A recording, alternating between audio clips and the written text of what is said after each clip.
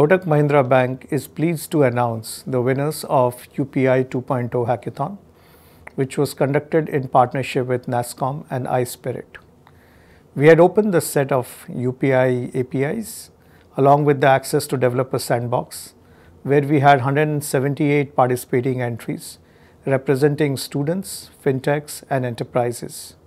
Over a period of six weeks, uh, the firms demonstrated their ability and brought innovative solutions.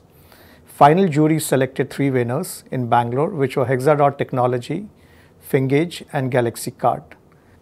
The purpose of this is to foster collaboration, bring innovative solution, and give customer great payment experience.